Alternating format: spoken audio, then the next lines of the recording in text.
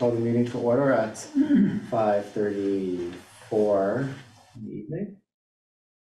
Um, First item on our agenda is public comment.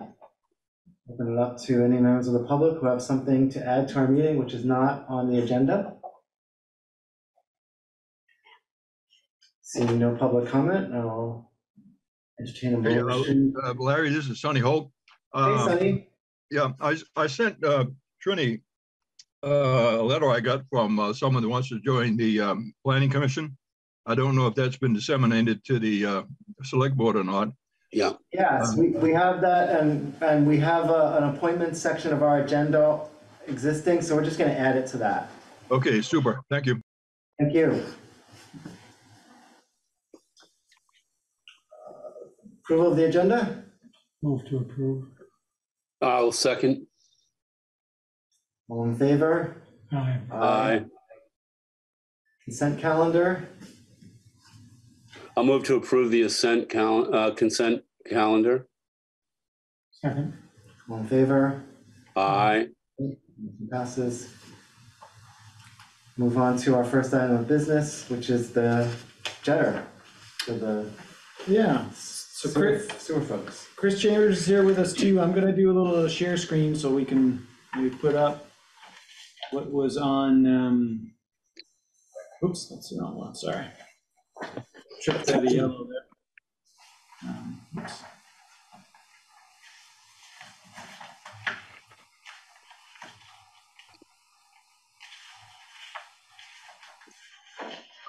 No, it's, uh, yeah, I'm still. Should be open, right?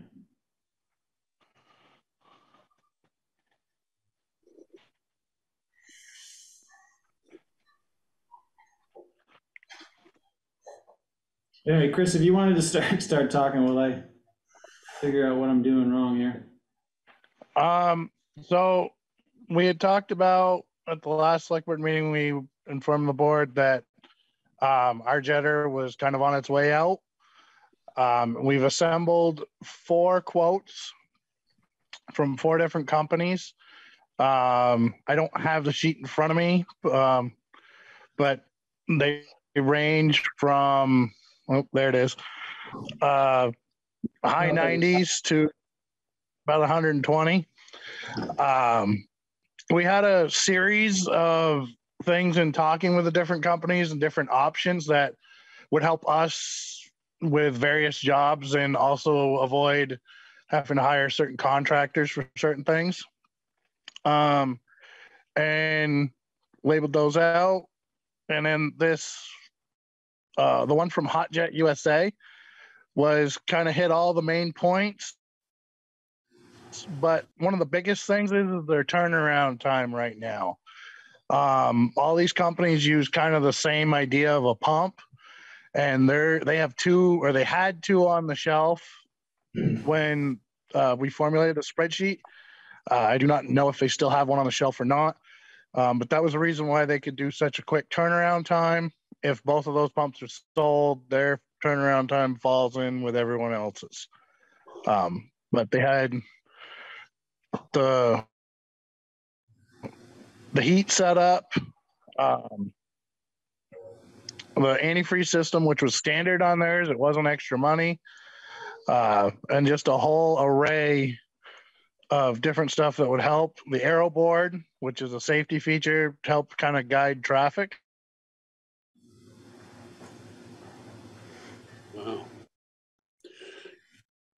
Chris, can you just explain briefly what a jetter is? I think I may have been- not been at the meeting when you might have spoken to this. Um, so yeah, uh, we use it to clear the line to get the lines flowing again. Okay, Um, we also use it for maintenance to keep the lines clean. Uh, we have various trouble lines that have either low flow or sags. And to avoid backups in the basements and whatnot, we clean them out regularly Mhm. um, with the jetter. Right now, we're not do- doing too much of that because the pump on our jetter blew a seal, which means that it's kind of riding on something and it pumps a bunch of water out. And we're just trying to nurse it until we can get on the other end of this. Mm-hmm, mm-hmm. Thank you. Would this be used to clean out culverts? Could, could be, right, Chris? The heat and the, the jetter, we've used it before for culverts and could deploy it Yes. that way. Yes, that is correct. Um, that was one of the big advantages to the heat last winter, both the highway and us. We had some sewer lines, shallow sewer lines that froze, and the highway had a couple frozen culverts. Um, we were able to get through them with the cold water, but the heat, if you had hot water to hit it with, it would clean both out much, much faster. Rather than a couple hours, it'd probably be done 20 minutes to a half hour.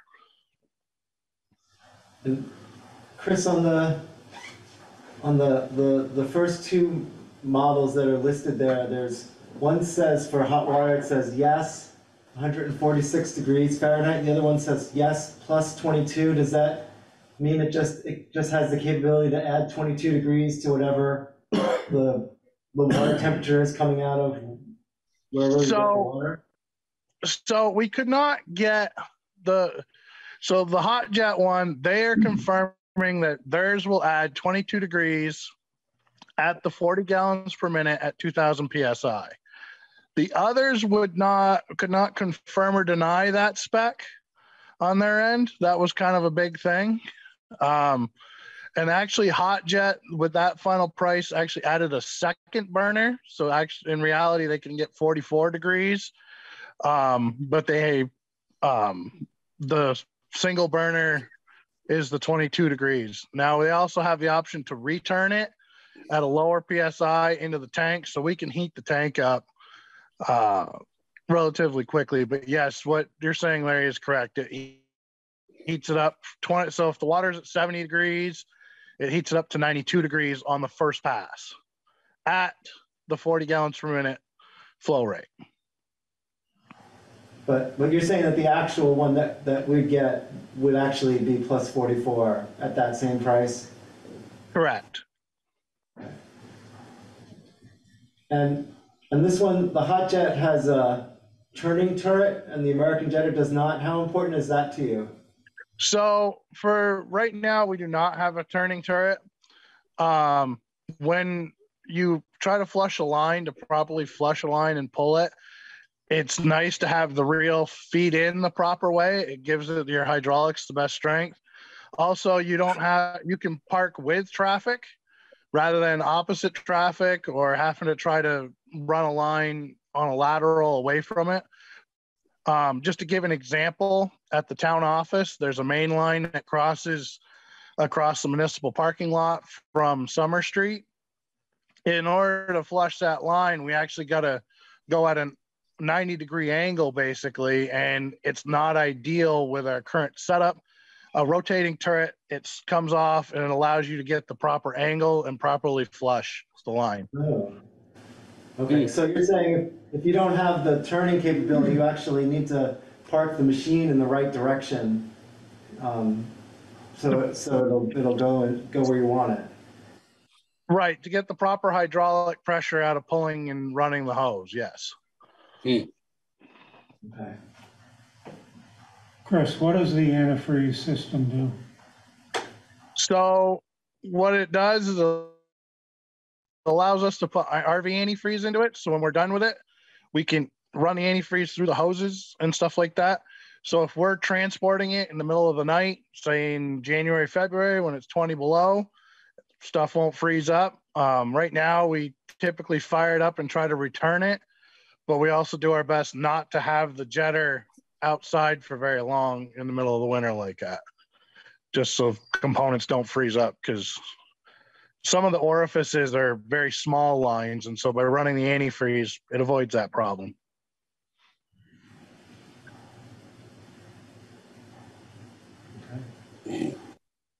Anything else we should know? um Uh, n- not, I think all things considered, looking at this, um, at this graphic that, that Chris has provided, that uh, clearly looks like the hot jet is the most economical and efficient um, option for us, given all the specs here. And Much like we had to do with the loader and the roller recently, um, in terms of available funds in the various reserves, the idea would be to try to lease finance this, so this a lease to own, same kind of five-year time period to match what's statutorily allowed. And there are some third-party vendors that, or other partners that the equipment manufacturers work with. There's also a, a lease to own uh, outfit headquartered in Grand Isle, um, that a lot of towns, cities have done business with over here. So we look for whatever sort of the best rate combination was there. It's a little different than the loader where Caterpillar and Deere and those types have sort of these well-established lease programs kind of Mhm. in-house. Mhm. This one would be either a third party or somebody like municipal lease consulting. and um, So we'll, we'll try to figure out which ones offers kind of the Chris or Trevor, what's the expected life expectancy of, of, of a jetter? So, uh, um, our current one was built in ninety-nine, or it was built in ninety-nine. The town received it in two thousand. Um, and it's still alive. The biggest issue is, is a lot of the components are outdated to the point where they're not able to be repaired or Yeah. replaced. Yeah. Um, that, Right, it actually, right. you- you did remind me about one thing that I liked about, that we liked about the Hot Jet versus the other three. So Hot Jet doesn't make their own trailer. They go and buy a utility trailer um, and put all the stuff on the trailer itself. So say in 10 to 15 years, the trailer itself is rotting out or a problem. Um, either we can hire Hot Jet to come out and do it, or we can do it ourselves. We'd be able to take the components off the trailer and bolt it onto Mm, another trailer rather than buying a specific trailer. Yeah, yeah, yeah. Uh, All things considered, that sounds like the best option. If, if we're ready for a motion, I would, I would move that we authorize um, Chris and the staff to uh, pursue financing options on the Hot Jet USA uh, jetter. Are we asking them to go forward with the purchase or just to come back with another presentation? If we could go, we still may need your authorization to accept the financing proposal, but Ah, this would okay, all right. place- the order in, work that piece out, and the timeline should be good. So we can maybe hold the pump. You know, if there's one on the shelves, keep that timeline, and then we'll do sort of an accelerated mini RFP, basically, to try to get an idea in terms of what's the, kind of the best option, most cost-effective for us. um, Okay. That around quickly. So would you like me to amend my motion then to authorize us to uh, uh, look into the financing options with a view towards maybe approving something at the December meeting? Maybe approving the finance vehicle at the December meeting. Right, right. I'll make that, I'll make that motion then that we authorize exploration of financing options um, uh, uh, contingent upon making a decision at the December meeting. Second, All in favor? Aye. Aye. Motion passes. Chris, before you go, does, does our current generator have any, any value, um, once we're done using it? Um, so we were thinking about if, right, you know, we weren't real sure what we're gonna do with it, but we were thinking about maybe stripping it and trying to make like a utility trailer out of it, put some tools and parts and stuff into it. Um, I mean, right now it still quote unquote works, but it's gonna cost about fifteen to twenty thousand just to get someone up to attempt to fix, to rebuild the pump. And if they were to do that, there's no guarantee because they can't buy new pistons for it. So it's a whole, it's, they fixed it and maybe the seal holds and maybe it doesn't. So it has, it might have some trade-in value to some of them, but I, we hadn't really explored that option too much. As a lot of them are like it, it, its current superseded model came out in 2005 and that that model um, uses kind of similar components to today whereas they just completely outdated what's on ours Okay. Thank you, Chris. Thanks, Chris. Thank you. All right, so we'll, we'll move on to, um, the charging station, uh, easement and agreement. So Mark is here, and I think Jerry's here, at least for this topic too. This goes back to, um, you looked at a, a variation of this proposal back late winter right around town meeting, where all of the infrastructure would have been in the town lot on South Pleasant. This is sort of what I think of as the original idea. Goes back where the charging stations are on private property, and really what the town's being asked for at this point is, would we host or allow for, um, the various parties involved to, you know, through sort of an easement agreement to place a concrete pad with some of the ancillary equipment into that town-owned lot. And I'll pull up the site plans, um, and then turn it over maybe to, if Mark or Jerry want to do, I'm gonna put up the one that was listed as number one first, and if you want the other one, let me know, I can switch between them. So as I mentioned, here's the sort of the town-owned lot. You can see, I think the, the difference is gonna be the two configurations with the parking, sort of where the arrow is. This is sort of a pull-in space.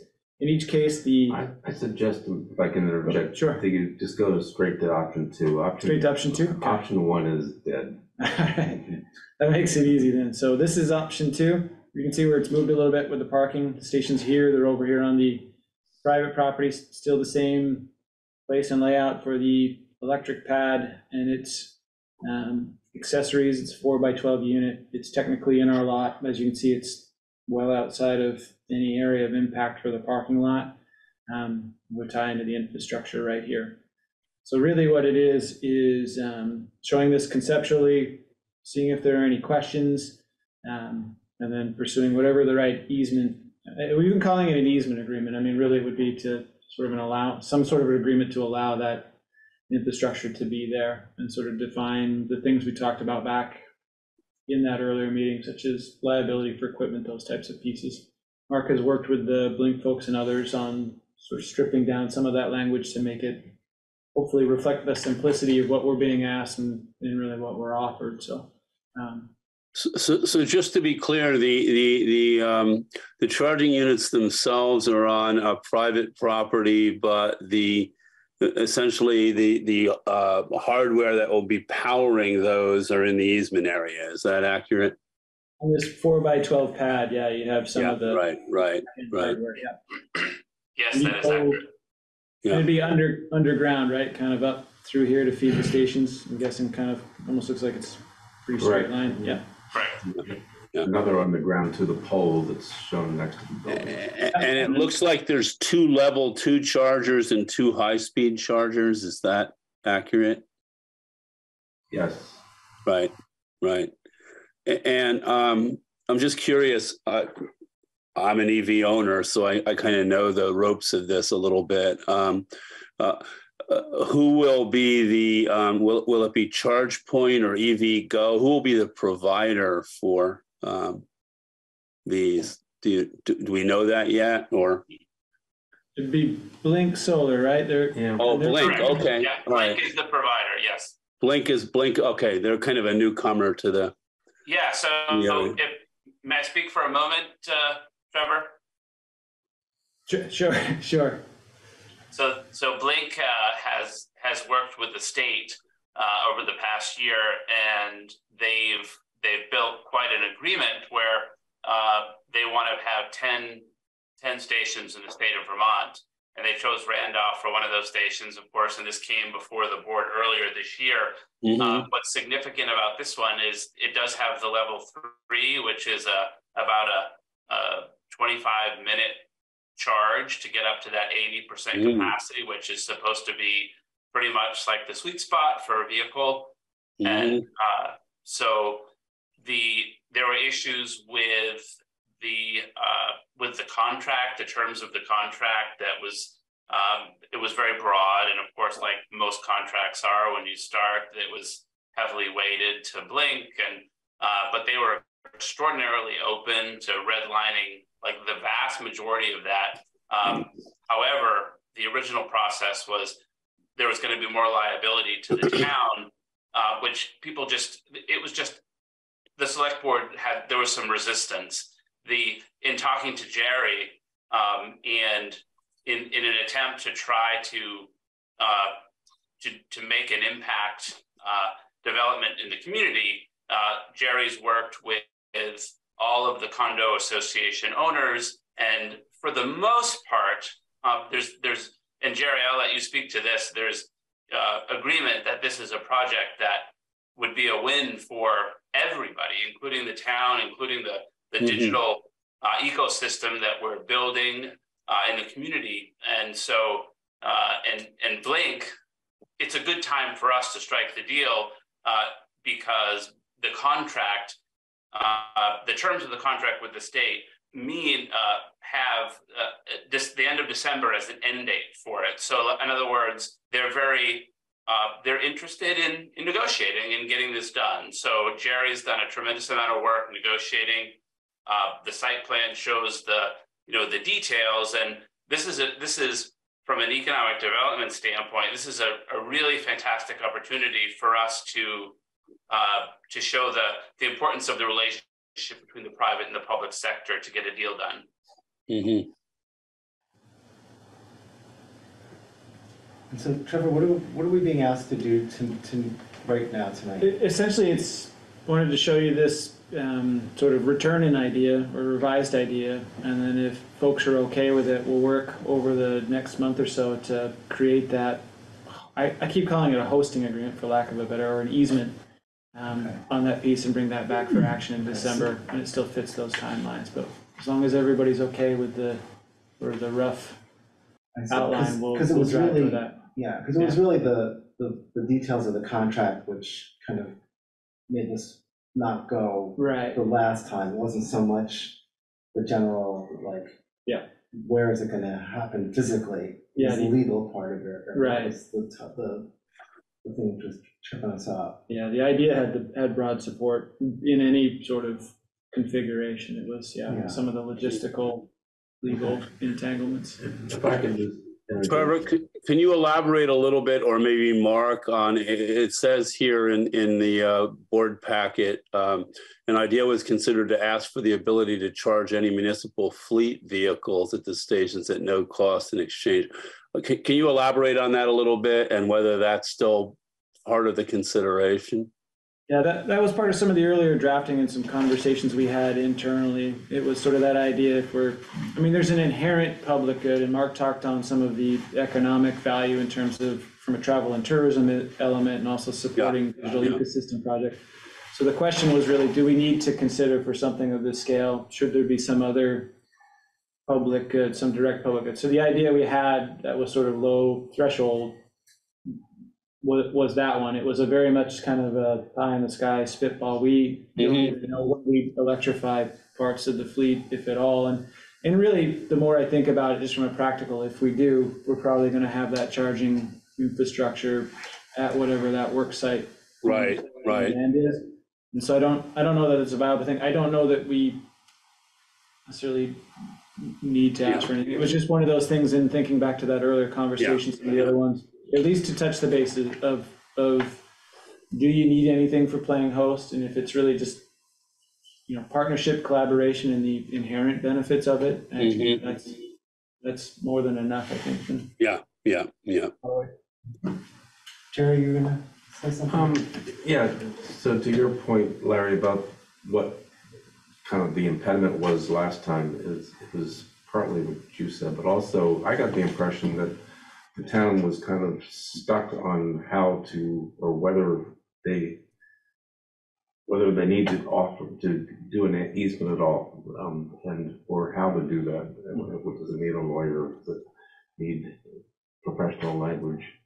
And so if we can simplify it and just call it an agreement um, with our own language, that's, that seems like it's fine to me. Um, And as far as the easement goes, it's kind of obscured in the site plan there, but if you look at where it's, where the tag is, right in the middle of the big building, that says proposed, what does it say? The purple tag, proposed EV electric pad with, so a label. That's actually on top of the existing easement, which is somewhat, somewhat larger than the pad is, but smaller than the label is. Mhm. So that it's already, it's not intruding at all on any uses that the town could ever use with that property. And the, In fact, I, I would say the easement to use that has already been granted. It's just that it's a new use. because, because there's something, what's there, there's already some sort of pad there? Yeah, there's, there's a bunch, there's, there's like fifteen bollards and they're protecting an underground propane tank that's a thousand gallons. Oh. Mm. So is that Well, that is on the something- far side, so. uh, That's, that's partly on Trillium's property and it's partly on town property. That's why there needed to be an So- easement originally. So, so the property line must be just a couple of feet from the building. It then, it's ridiculous. I think it's either eight or twelve feet. Mhm. Well, I mean, if the, if, if this pad's only four feet wide, then it's, there's not space for it just to be on the Trillium property then? It- it No, must be- because it has to be, I think it's ten feet from the building Oh, Ah, oh, I see. by some, by some code to do with some sort of um, electric code or something. electrical code, yeah. Okay. You know, looking at the picture, it looks like deliveries have or do come in through that area.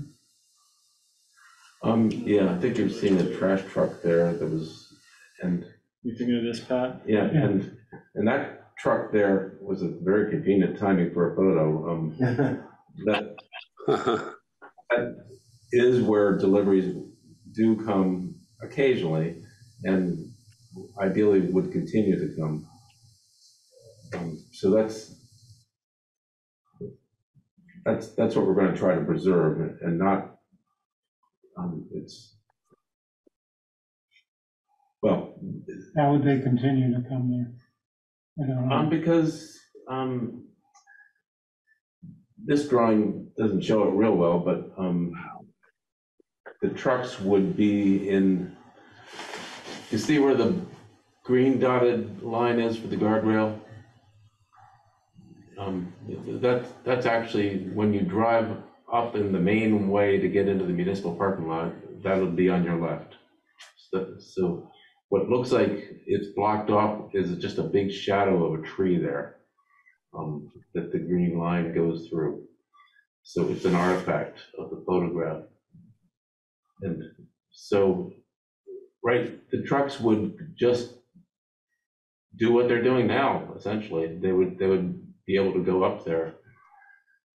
Um, and most of the deliveries are very short term anyway, like ten minutes, so it's not that intrusive. And it does not block access to the municipal parking lot. It's wide enough there. Mhm. You'd be able to charge vehicles and do deliveries at the same time? Yeah, that's. the There way- may be a Yeah, slight- yeah. Um, Well, let me just mention one other thing, is I've asked them to actually redraw this, and so the easement part where the electrical pa- pad is accurate, the way I think it's gonna stay. The actual configuration of those four EV charging bays, imagine that blue boxes would be rotated hundred and eighty degrees. And that's the other thing that I'd like to get the town's input on and make sure that's approvable. But in other words, you can see that there's very little usable safe space between the EV charging and the, their covered deck that's been approved. So Um, so you're and- saying, Jerry, that stations charging units would be here and you'd pull in from this side? It'd be in the So same flip the- footprint that they have, but the access to it would be flipped. Right. So the guardrail would either go away or it would be parallel and close to the covered deck. Uh-huh. Make Uh-huh. sense? Yeah, yeah. Take makes this sense. So the impact to the, is, is that the access to drive into them would be through the much wider and more frequently traveled Mhm. Mhm. part, uh, driveway to the municipal lot and to our delivery bay. So, so you're saying that the, the, the truck that just happened to get, you know, photographed when this image was taken, that it's, it's, it went, it was going to that delivery bay, but that in the future, trucks would have to get to that delivery bay from a, from a different, Right, right now, they're not really using that one, I don't think. They're, they're using, um, close to the, where the green bulk, the, the green guardrail line is. So they come in on the municipal driveway, and then they angle in a little bit to get to the very corner of the big Like that. building. I see, so that's how you would, ex- that's how you're expecting that they'll get deliveries Yeah, once this is in That's how place? Stephanie was getting pottery or clay deliveries, Okay, and that's how Kathy Bacon got freedom food deliveries. So neither one of these pictures shows accurately the lineup of the charging bays. Um, not the way I hope it gets redrawn, but they haven't given it to us in time for this meeting. That was just a suggestion they're working on now. But again, it doesn't change the Just change, footprint. just change where the cars are gonna enter. from. Exactly, Yeah, that's, yeah. that's all it changes, and makes it, I think, safer and more manageable for man, for Yeah, That the, seems like a good change to me. for the pedestrians who go to that covered deck. Yeah. To flip it, yeah. You said that, you- that the propane tanks are underground, but it's sort, in this picture, it almost looks like there are two propane tanks right there, or is that? s- Yes, something- at that time there were. At that time there That- was, that- but That's been cleaned up. There are still propane tanks next to the cafe building. Oh, okay. Um, So, so this picture is old enough that it's, that the yeah, propane. we- that- We've it says that- consolidated a whole bunch of tanks that are now underground, Oh, wow. around the Oh, big building. Okay, oh, great. Hmm. This is a fairly confined area. Has it been surveyed so that we? Well, Yeah, it hasn't been surveyed recently, as far as I know, but, um, there's other drawings that have been done that are based on an old survey map. Like, like that. You're welcome to see if you want, but, but, uh, I'm, I'm a little surprised that these professionals drawing up the plans chose this to base it on rather than a survey. I don't have any control over that, but to me, it makes it a drawing that's hard to visualize, so, I, I think they're trying to keep these projects under budget. Just to remind you, this is, I think, VW um, legal funds that have been allocated and um, it's, it's part of a state grant. And so they have to be within a budget of what they're gonna get for each of these. They're, they're heavily subsidized, or completely subsidized, I guess. And who will do the cleanup, like for snow plowing and shoveling and something? Well, that's, um, that's not clear from the contract yet. Um, I think it's gonna fall on us, or it may be a combination of the town and us, us being Trillium.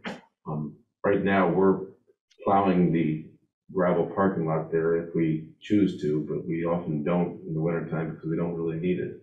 It's a waste of expense. This would be a game changer where we would have to keep it clear and, um, I, it's, it's not specifically in there because most of their contracts seem to be not in snowbound areas. But, um, I think the default is that Trillium is gonna have to clean it. But it's, as you can see, it, it's right next to the town municipal lot and the town plows often now go sweep right through where there is gonna be EV charging stations. So, so and they, and then they take this big sweep and take it all to the back. Off to the right. The other question or comment I would have was if you um, have dedicated spots over near the condo buildings, that's gonna push them into the parking lot. And less parking there. Yeah, we've pretty much eliminated any designated spots there. Um, There's some staff who use it intermittently, there's no lines. It's all very informal and as needed. It's nice as overflow occasionally, but what you see that looks like lined up, not the reality currently. Is that, on the map here. Yeah. But in terms of the number of cars that can park over there, whether they're You designated. talking about on the Trillium property or in the municipal lot? It seems to me like on the Trillium property, if you designate four spots there, that's gonna push people who might have there into the public parking. Um, yeah, it, that is. Yeah. We've been discouraging people from parking there anyway, because it's, they can't figure out how to park and not impede the occasional deliveries. So, so it's, so it's been, there's a lot of Merchants Row and Main Street businesses that have been parking there historically. So yes, I think it could increase utilization of the municipal lot a little bit. In the last year, there really has not been much use by the public of that.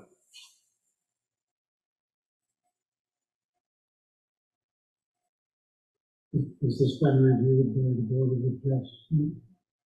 No. Um, Board of Adjustment, I mean, DRB? Yeah. Oh, okay.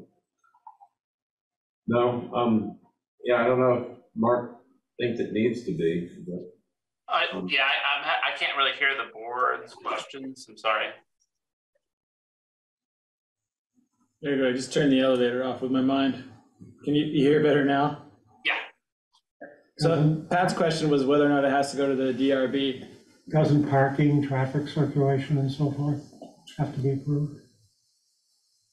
Would have to look deeper into it. I mean, the, the essence of tonight, like, uh, like Trevor mentioned, was if, if in the fullness of the due diligence of the project, uh, we can make all of the various rules and regulations, including going before the DRB, if the, in order to try to figure all this out, all the, the moving parts, if, if the easement is something that can be granted, it makes more sense for everybody to continue going down the, the path to make sure that we can get this done. So I, I don't think, I don't think, uh, going before the DRB is going to an issue, be an issue. I think the primary, at this point, the primary issue is going to be whether or not the town is willing to issue the easement for, for the battery pack, uh, for the electrical boxes.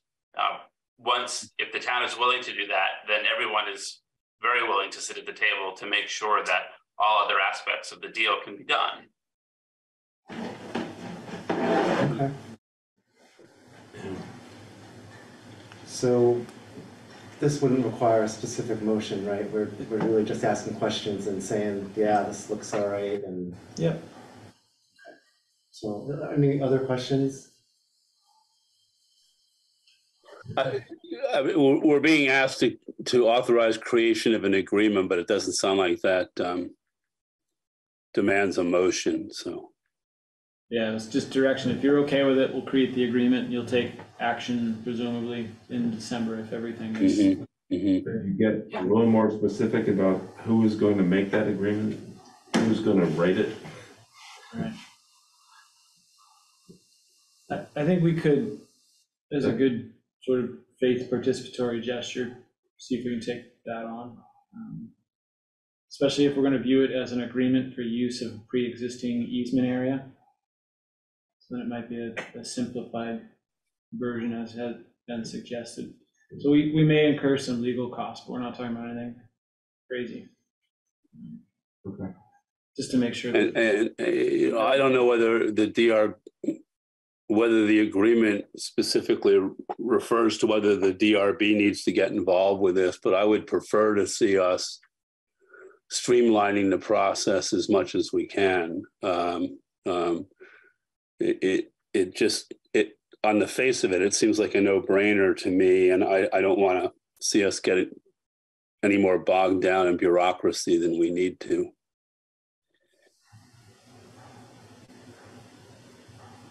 So having, um, the town attorney work, work on this, that's, that's just something you can direct, you don't need board approval. for- Right, yeah, and what we might do is put together the outline, get some feedback amongst the parties, on the outset and make sure we're in the right spot, and then have the town attorney do sort of that last pass through to make sure that we're not missing anything, that the language is what it needs to be if there's something related to maintenance and liability or something like that. Um, So that what you get is hopefully a, a finished part that everybody's okay with, would be the idea. Mhm. Great. Ideal goal being approval or not at the next December meeting. Yeah, Great. Sounds, sounds like a good plan to me. Mhm. Okay. Can I just follow up on a question? Yeah, of course, Pat. Um, What you need from us is what you think you may need from us. One or two areas by the building, right? Those EV electric pad, four by twelve, that's something you need. And So there'd be an easement there, and is that where you're But saying? that's already an easement. This is the spot that, this is just a label that goes to that. Oh, okay, So it would be this size. so there's already an easement here, There's already a, a larger easement over there. but in a different place. It's actually would, would be contiguous. Yes, they'd be, Essentially connected, probably remove some of the bollards and add some different ones. So functionally, it'd be one big easement, bigger easement.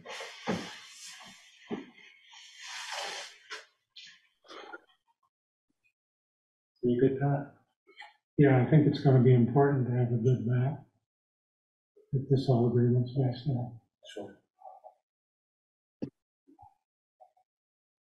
All right, well, if there's no other further questions or comments, we'll, we'll move on. Thank you, Jerry. Thank you. I'm sorry to catch your name again. You're, you're here, are you here, were you here for, no, you're here for something else. Oh, was there, is there somebody, oh, He's there's just somebody here, else he's just here for the excitement, for the excitement? yeah. Okay, good night, thank you. Thanks, Mark. Thanks, Mark. So move on to traffic ordinance revisions update.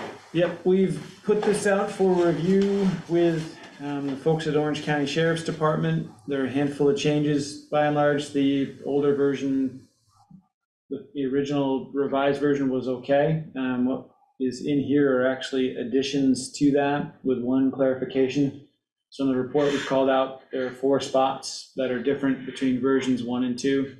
First one's purely a cleanup one. We took references to to village streets and replaced them with police district streets, just so that way we've got formal entities with delineated boundaries that then match our contract space too. Um, So there's a couple of, of references to that. One that was added um, more or less by request of the library was to create, basically, the language would create the ability for the board to designate as many as three spaces for the library to say during open hours, we put signage up and say, you know, limited to patron parking, thirty minutes, Monday through Friday during these hours. And some of this is in response to, one of the common points of feedback they get from patrons is it's harder to, to find some of those spaces available nearer to the library. They're being used for, right now, Randolph House residents who are parking up above rather than in town lots or if their lot's closed. That's a common, um, I won't call it a conflict point, they're just in the spaces and, Mhm. and, and keeping them, you know, keeping library patrons from, so we'd be able to do three, we wouldn't have to do three, we sort of try to write it for flexibility. We could even try it, you know, as a smaller pilot project and see how it goes. There, um, we've also tried to be very clear that the, the enforcement, level of enforcement, the mechanisms available should be you know, dialed down. If somebody's there who isn't a library patron, probably not gonna roll the cars for that. Um, But hopefully as a deterrent and as a, as a um, neighborly thing to do, it'll have an impact. The other two that are new, the other two sections, um, one is about adding stop, references to stop signs, yield signs, even if we don't really have many of those. Um, They fall under, it's a little bit easier to enforce if somebody goes through a rolling stop. One of the things that when we were talking with the folks at Orange County was, we've got a little section in there on high priority intersections, that's just to call them out a little bit, that they might get a little extra attention. You know, the four-way, where Main Street, Central, and Park come together, some of those hot spots. um, We want to make sure people are being safe. Um, and traveling through those appropriately. And then the other one ties into some of the tractor trailer travel prohibitions. Right now, what's listed in there were Highland and, and Maple as two of the ones that have come up, that the board has tried to take other action. Some of the feedback is that it's easier for the enforcement agencies if they find a truck where it shouldn't be, um, to, to sort of take the appropriate actions, levy the appropriate fines and all that. Right now, Orange County, when they do do that, it's really more of, um, an educational deterrence mechanism to your law enforcement entity to really zap a truck that's where it shouldn't be. Uh, You gotta have an officer who's trained in that particular type of enforcement, has a set of truck scales. um, Sort of paying it in, into the weights. So it might be DMV at some point comes in, does a stint down there if we have issues that are ongoing. Um, And then the ordinance, that was sort of the feedback, is having it in our traffic ordinance provides that uh, additional um, enforcement capability for some of these entities to do that. And it ties into whatever the applicable state and or other fines would be. And that's separate from the overweight permits that are issued as part of our regular kind of statutory process for that. So those are the, the main changes. Everything else is pretty similar from the version we looked at. I can't remember, it was September. I think it was September. Um, And so one of the things we've been holding off on, making sure that as our primary enforcement entity, that they had a chance to review that. We Got any other pieces to incorporate. And so if you're okay with any of this, um, the next action step would be to warn that public hearing to move forward with some of these pieces. And I can review any of the other ones that you looked at before if you want, but. I I just have more just questions about, more specificity, specificity about the stop and and yield language, what that, um, what that's, what that's, what the intent is for that and what what that's gonna, accom- what that's gonna accomplish. And Yeah, and I, I guess I'm not familiar with the high priority intersections, so that's just, that's just so.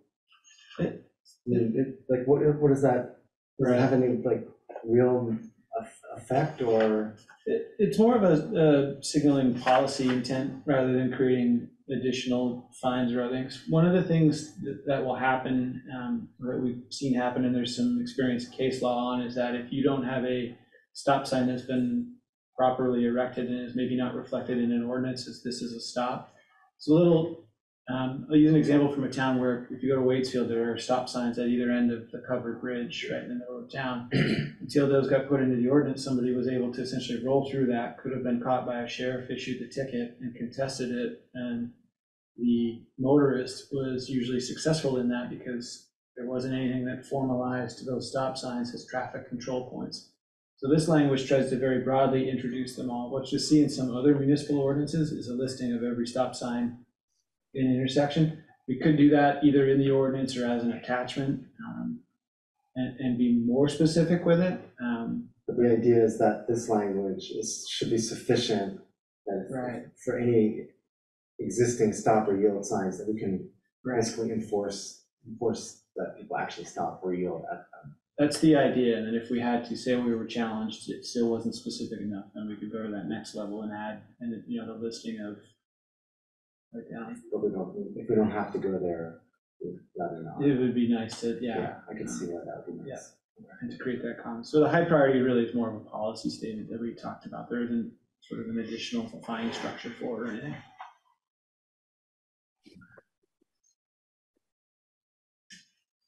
So do you need a, do we need a motion to move ahead with these changes? I think if you would make one to warn a public hearing for the next opportune time, I think we've got enough time from a timeline perspective to do that, um, for an ordinance change, so we're in for December. We've got to have everything warned fifteen days out, and I'll have to look at a calendar, but if not, we could do it in January. Um, So you're, you're implying that we could, we could warn it for our next regularly scheduled meeting. I think that would be the goal. Um, I'm just thinking ahead to the weekly newspaper holiday combination. I think sitting pretty, pretty well within that fifteen day window potentially. Mhm, mhm. But we'll, we'll aim for December. Um, So it might be that the motion is to warn a public hearing for December, and if the timelines don't allow to host it in January.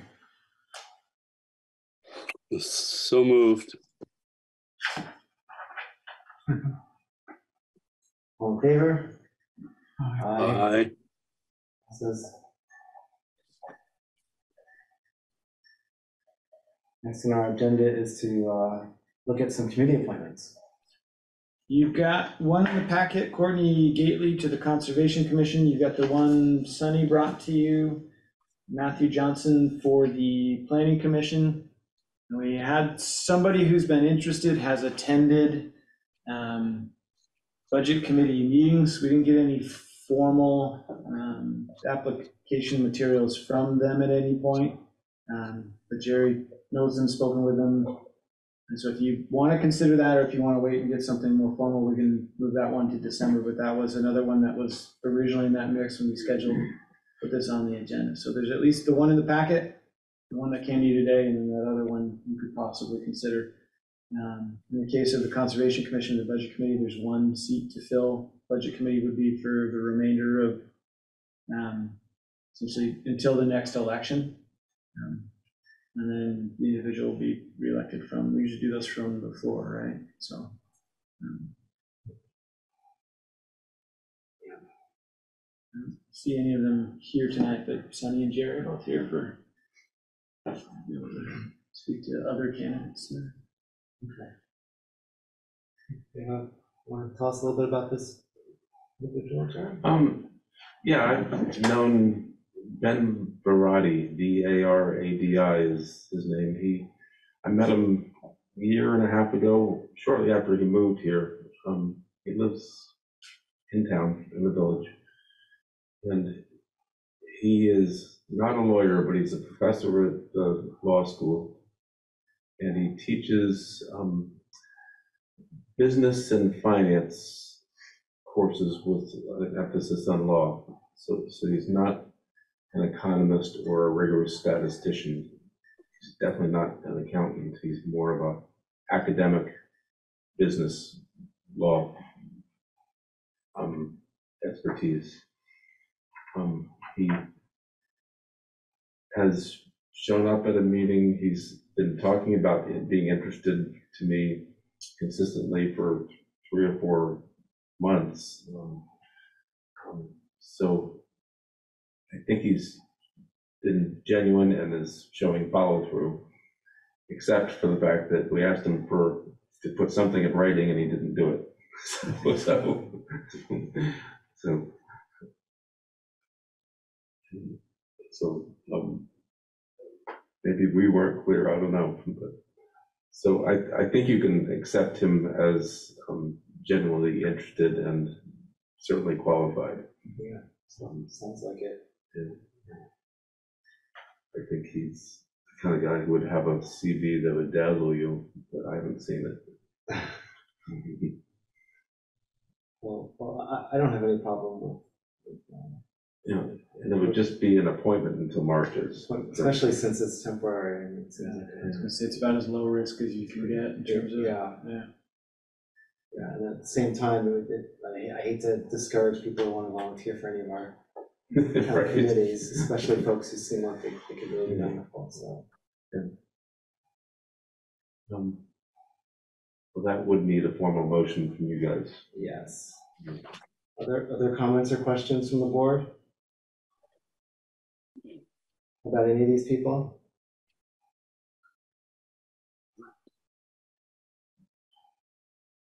You're all willing to serve and no one else is in Seeing, the pool, so you're seeing not. no, yeah, so seeing no other, other uh, comments, uh, entertain a motion to approve all three people to their respective committees? I will make the motion to approve all three people to the respective committees uh, that they've expressed interest in. I'll second it, although I'm a little concerned that we should be consistent in whether we require somebody to apply for something or not. I think that's been the general, like,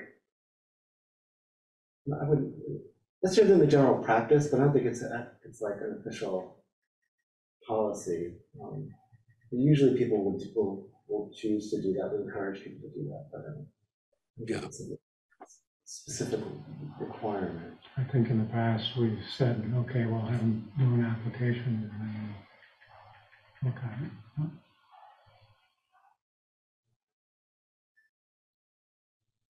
It's nice, for sure. Uh, But I think, anyway. You have a motion and a second, all in favor? Aye, Delinquent tax collector, this is Trevor's favorite part of the meeting. That's Is that an application? Or- Yeah, or I get another job. Um, We've had the finance director serve in this role for a number of, of years, um, but having largely been without one for about a year now.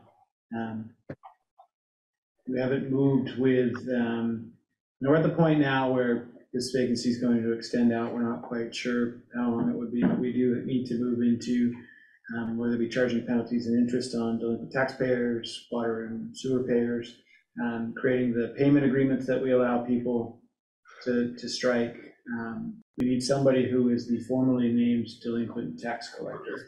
So the idea would be that I would assume the mantle and be the signatory on things and help wherever, but it would be that it would be me, Kayla, who's our new employee in finance, and Cynthia from NEMRC, who's gonna be with us for a while too. And Cynthia's a former delinquent tax collector down in, or if she did in Westminster, Putney, or both, but um, we've become, um, you know, a, a single entity where a lot of the front end stuff, identification of who's delinquent, what the amounts would be, you know, doing a lot of the back of the house functions, and where I might come in is to just review, say, a payment agreement and be the one to actually sign off on it.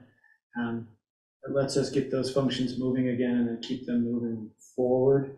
And then we would probably not be as um, prone to use the tax sale mechanism for non-payment as we have in the, in the past, just because of the same kind of resource constraint, but we might at some point say if we happen to find ourselves in late spring and need to, um, or want to for whatever reason, we, we certainly, that's part of the process that comes with it too. And the town attorneys get involved in that and do a lot of the actual um, know, handle a lot of the, the technical, mechanical details for us, so.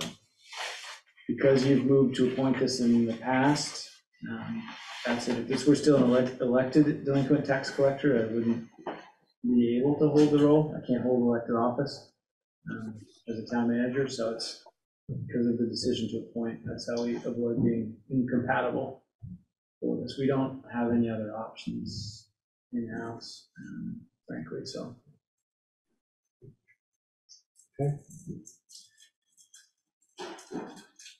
If we, if we did, I'd go for it, but. Yeah, I'm sure you would. I'll move that we appoint the town manager as the delinquent tax collector.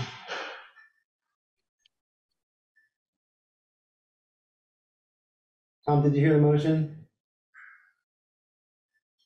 Um, I'll, I'll make that motion. Pat, Pat made the motion, I, I think. Oh, Pat, I'll second. I'm sorry. I, I, I didn't hear Pat. Uh, Sorry, I, I thought you might not have heard him. yeah, yeah, I did not. All in favor? aye. Aye. Motion passes. Uh, Request for engineering services. Yeah, this is just, we're seeking authorization, we've got four different RFPs that would, um, that would fall under this single topic. It's, um, the engineering services RFP, part of it's, it's part budget exercise, part, um, backup plan. If you go back a couple of months, we've talked about, um, whether or not to add capacity similar to what we had when Marty Sanchez was here, where there was an engineer and zoning person combined into one. Um, one of the areas of concern is that's such a specific, unique combination of skill sets and experiences um, that we can try to go for that. Um, We might have better luck or better shape considering something a little broader, such as a planning and zoning administrator or a zoning and grants administrator is one idea that would be, would be pretty helpful. And um, we can go and get those engineering services that we're missing through an engineering services agreement. So it's budget time at a minimum to be able to see what the costs would be um, for that. So this is a, an individual or a firm, I've worked with both in this capacity, that would be able to handle, you know, it'd be RFP drafting, it would be estimating, project scoping up to a certain point, would provide us, you know, if there was development review that we needed, um, whether or not to take over the street at um, Salisbury Square once it's built, for example, that's something that they would provide, would be that. Um, certification component service. So we'd be going out, trying to get that um, and figure out what the cost would be so we could build it into the budget. And we could always sort of create a scope of work that fits a budgeted number. That's a good time to do that. The other one is we've talked about before, but not for a while. We also need some engineering services. There's so much infrastructure and other money floating around. We have project ideas, but not even numbers to go and pursue some of these things over the next couple of years. So the idea would be to put an RFP out for that and try to pick, I don't know if it makes sense to try to do four projects, six that would then at least receive some sort of initial scoping. So we know estimate, have some sort of reasonable project budget that will be close, and then we can go seek the different awards. And so I listed some of the ones in there. Um, So there might be one that we try to leave as broad as possible, um, but we may also be specific. Some of the ones that have come up that we don't have numbers for, then something like Beanville water sewer extensions. If we can change, engineer and change the intersection of Beanville and, and Route 12 south, we can better enable the truck traffic to just go that way and come in and out from that end of things as opposed to trying to navigate Pleasant Street. Um, Central Street bridges come up, Stock Farm, slope stabilization, missing network pieces. Some of this, we do an engineering service agreement, it might fit in there, like the, the sidewalk network pieces, might be able to kind of double up on that. So the idea is to try to put something together that would let us go identify some projects and go out and be competitive for some of the infrastructure money. Um, And maybe that that's a sort of an early use of ARPA funds, don't think it's gonna be terribly expensive, but it enables us really to go forward, because without it, um, I'm guessing. Um, And, uh, it's, uh, not where we wanna be. So like you said, this would be work that if we had a town engineer that they would do. Yeah, Um, If, with this, we've opened the possibility of, of if we did find somebody, mhm, that we could hire someone. Yeah. Um, and, and not, we, like, we wouldn't have to, we wouldn't be committing to using these services if we were able to.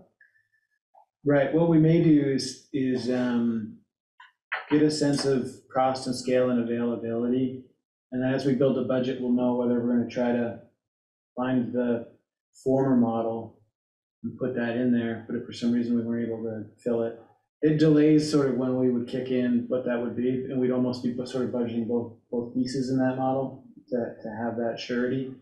Um, but you wouldn't have to spend it if you find, found somebody to do the other piece.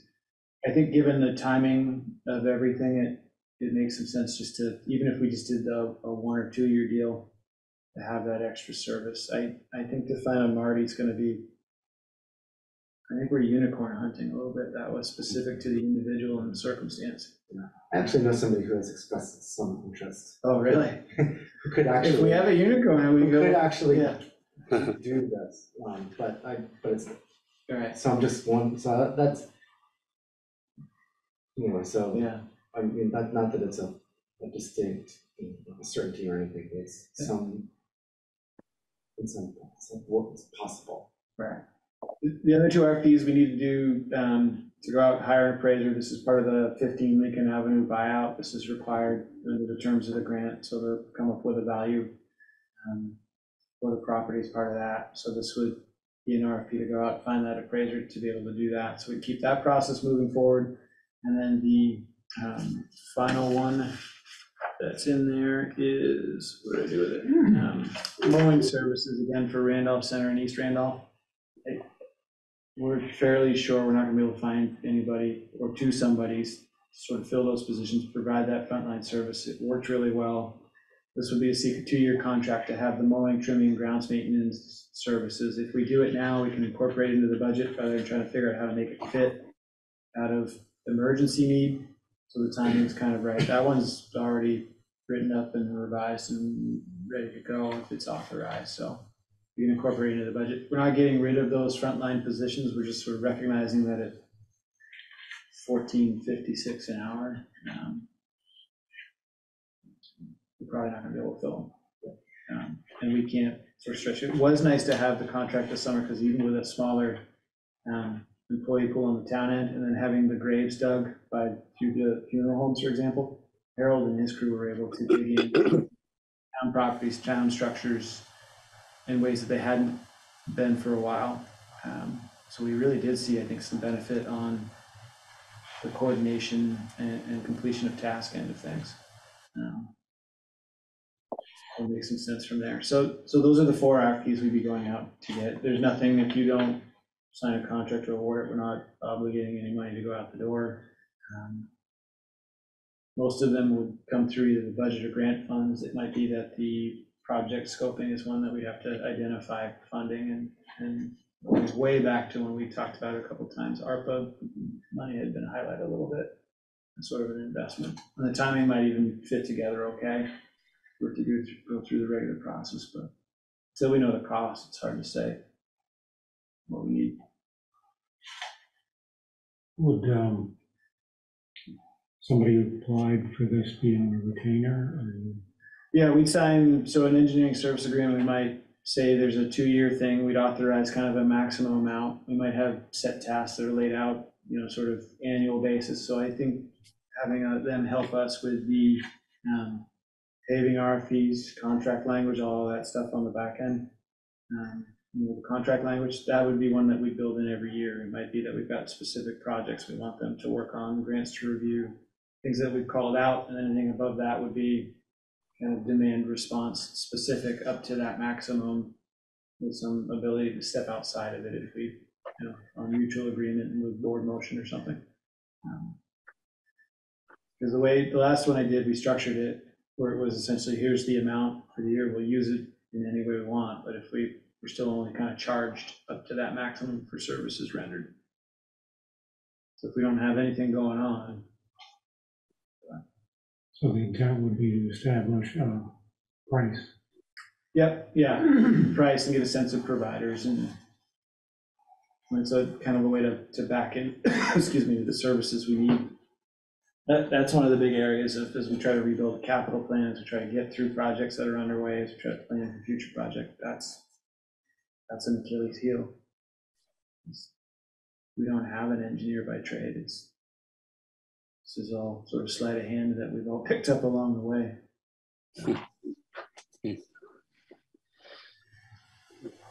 Um, I'd like to move that we, uh, we bundle this quartet of, uh, request proposals and, and authorize the staff to proceed with them.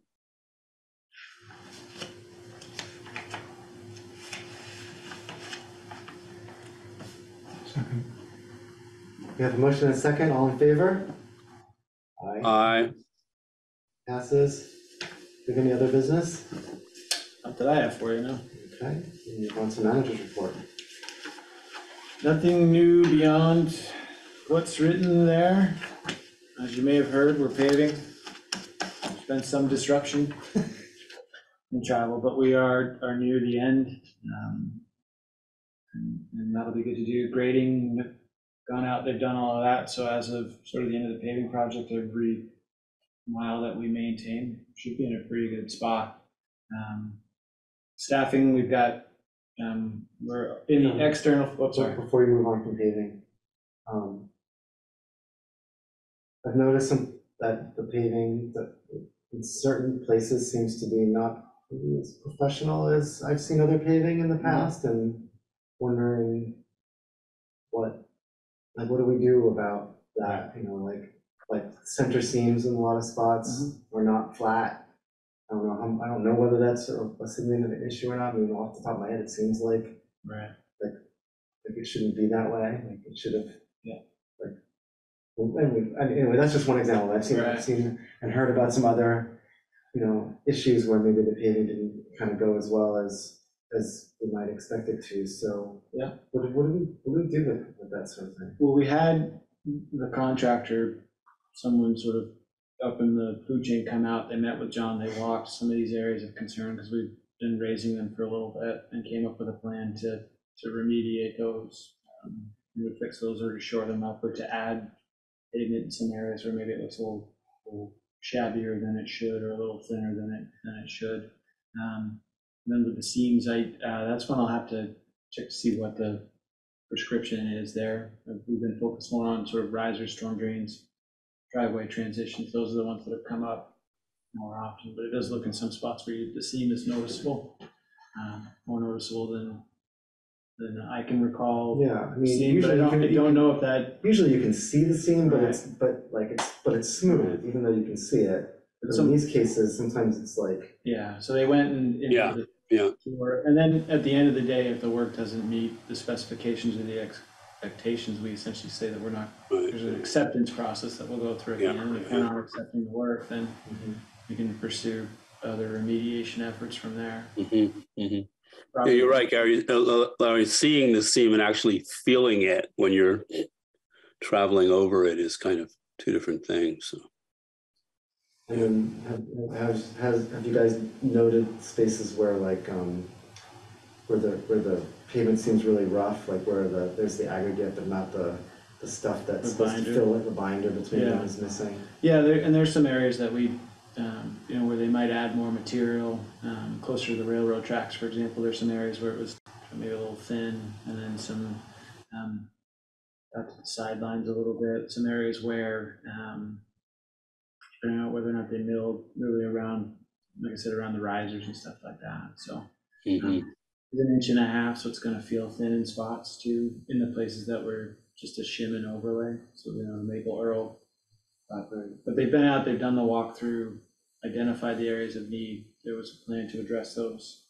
Um, So then we'll be able to check against the original specs, against the, sort of the plan to address. And at the end of the day, we have non-acceptance, basically. Be, all their parts really would, could be how we structure, so if we're happy with one section, we could sort of hone in on, on an area. Okay. Yeah, I mean, it didn't seem like this was so much a matter of how thick it was, it was just you know, that top quarter or half inch where you can actually see like sections where it's visibly missing, you know, part of that, what should be a nice smooth surface when you're done is, is much rougher than you would, ex- than you would expect. And you can actually, you can- just see it, you know, as you walk by, it's pretty, pretty apparent. We've noticed in other areas, um, not here in town, but on newer pavement, there's almost like an undulation or a, a little bit of a, a bounce effect in certain areas. um, Just in terms of how the pavement was compacted or not. and, um, I don't know if there's a materials change or issue or something like that, but, but yeah, we do, we are gonna go back through, try to address everything that's been highlighted. Maybe things that we miss or don't hit that we'll have to address in other ways, but. um, I think, um, based on the written report, that's sort of, it. we'll do the Branchwood update in December, it looks like.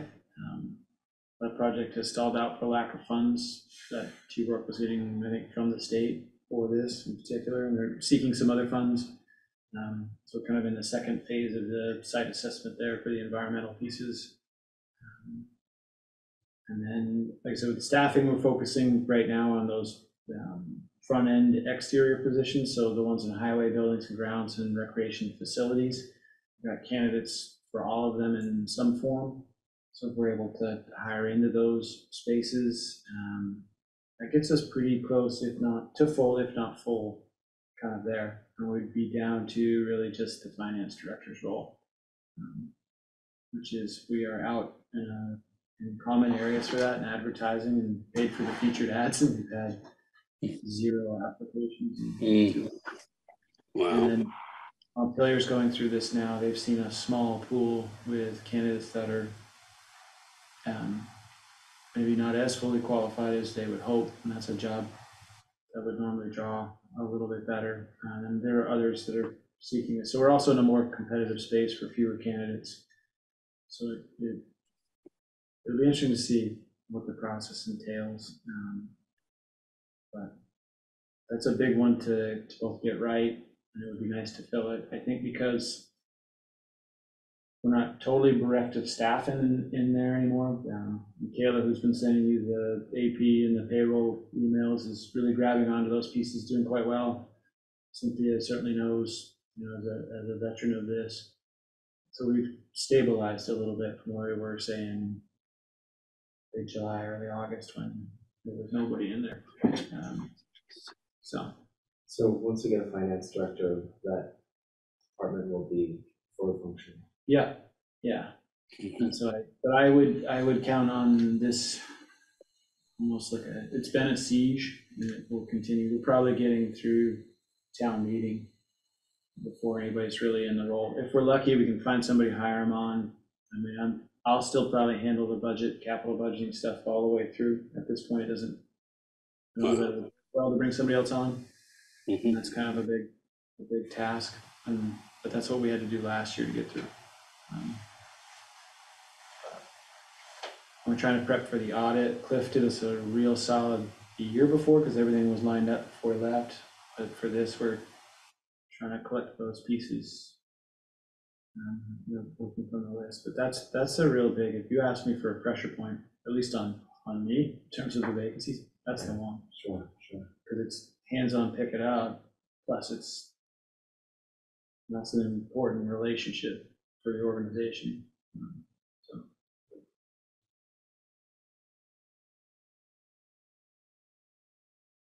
But I'm getting better at NEMRC, so that's, that's all I got for it.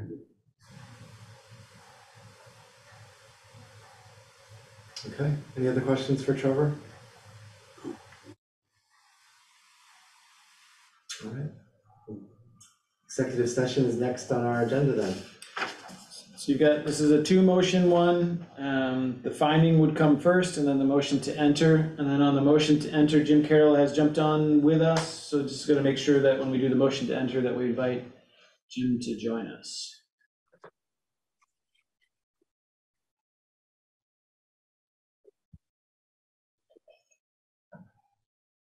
The first motion would be the finding that executive, executive session is necessary and prudent, and premature general public knowledge would place the town at a disadvantage. I will make that motion. Second, All in favor? Aye.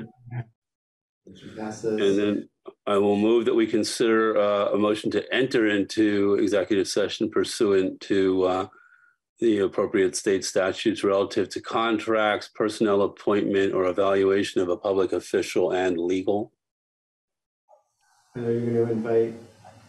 To invite Jim Carroll to join us. And to invite Jim Carroll to join us. second, All in favor?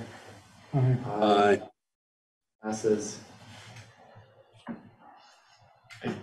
You won't have any motion coming back out, so it's like we've done before. I don't think you'll have any motion coming back out, so, Okay.